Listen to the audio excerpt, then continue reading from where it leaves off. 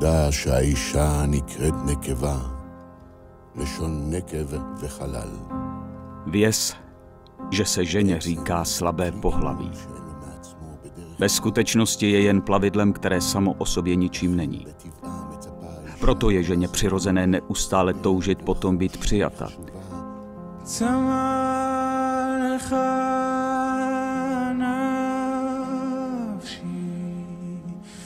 בעץ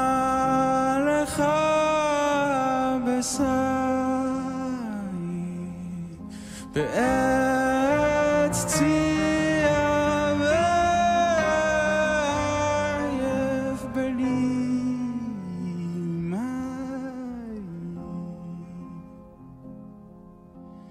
כן וקודש A jak je známo, hospodin uvalil na Evu těžší a bolestivější kletbu než na jejího muže, protože selhala jako první a navíc muže svedla.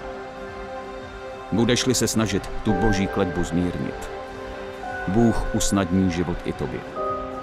A nemysli si, že je to obtížný úkol.